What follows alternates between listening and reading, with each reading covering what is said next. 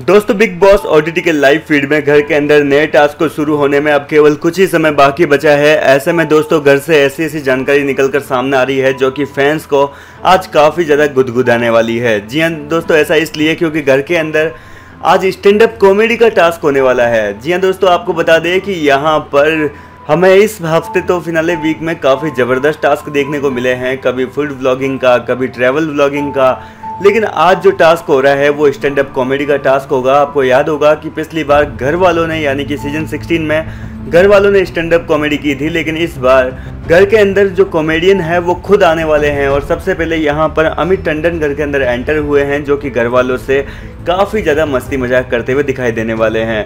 कुल मिलाकर दोस्तों, घर के अंदर इस समय काफ़ी मज़ेदार टास्क होगा, जो कि देखने में काफ़ी दिलचस्प है। फ़िलहाल आप इस धमाकेदार टास्क को देखने के लिए कितने एक्साइटेड हैं, हमें कमेंट में ज़रूर बताइए।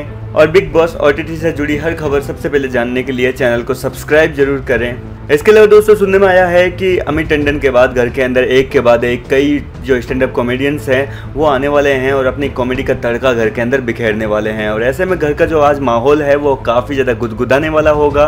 और घर के सभी कंटेस्टेंट जो है, आखिरी हफ़्ते में एक बार फिर से हँसते, खिलखिलाते दिखाई देने वाले हैं।